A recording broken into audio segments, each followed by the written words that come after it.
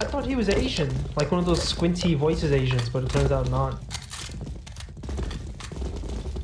Like you know, like oh, oh how are you? Something like that. What the fuck?